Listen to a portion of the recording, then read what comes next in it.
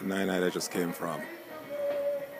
So I wrapped up my 54th birthday, January 29th, 2016, Douglas Stewart, up in Middleton Settlement, Blue Mountains, Jamaica, with a nine night. That was fantastic. And I just made my way over to the place I'm staying to Prince Valley, where I'm staying. And um, it was what, like four, four o'clock in the morning? It was better than going to a club. Fantastic, fantastic. Soup to nuts. And it's still going strong. We'll probably go till morning, till the sun comes up. And okay, I want y'all to see something. The moon. Are you ready? No, no, that's not it. Here it comes. Look at this freakish moon. I was walking along and I thought, I thought it was like a lamp. I thought, how's that lamp following me around? I was those lamp, these lamps are so bright. And I looked up and I said, oh my God, that's the moon. I've never seen such a bright moon. I mean, it still looks like an artificial, like it's a lamp. It's fantastic.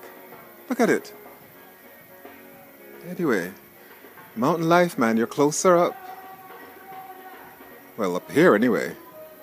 Wow. Anyway. So I need to get a little bit of this flavor. I mean, yes, I have other video that I, I you know, my poor little, to be erasing old videos, and then um, the battery eventually died because it was so good. I love Nine Nights. I mean, it's too bad somebody has died for them to happen, but those bands, listen to that voice. What's that voice?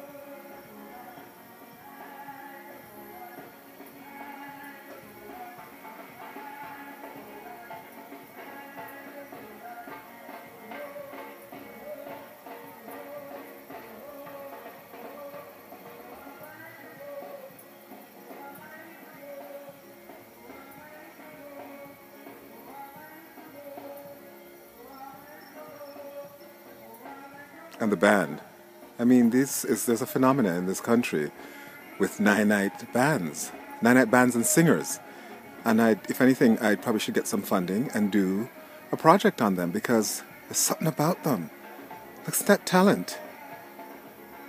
I'm trying to understand if they do like weddings, do they do other things?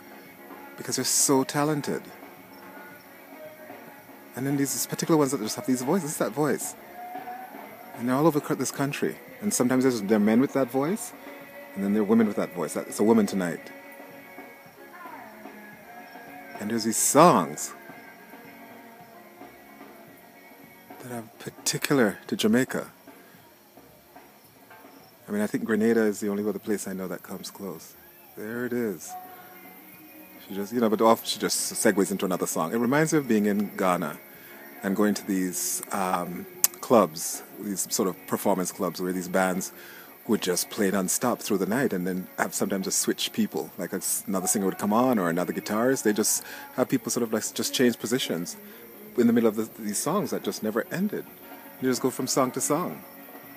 And this is what this reminds me of. They just go from, you know, so she'll be into another song and it'll be just seamless. This is that and this is like across the valley there. This, uh, these hills are very deceiving. You know, you look at them, and you think, oh my god, how do you get over there? How do you get over there? And then you start walking, you think, oh, like, you know, it's actually all connected. Things aren't actually as far as you think. I mean, initially you're like, oh god, Lord. But then now I'm like, you know, I'm skipping a jump, but I'm there. I guess it's just getting used to something, you know, it just seems, yeah. It's like winter, you know, for people when you first go, you think, oh God, how could I serve a fucking freezing place? And then eventually winter comes in, you just put on your coat and your boots and you go. Your gloves, your scarf. I mean, you complain, but you just go about your business. So, same here.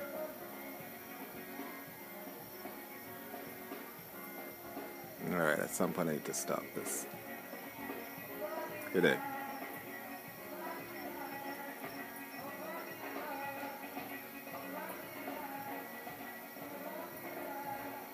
Okay, I'm gonna let it go to six minutes. Sure, it should have been three, but you know me. Then it was gonna be five, and now I think she's into another song now, so we'll give you a little bit of that, and then we'll go. How you doing? Good morning.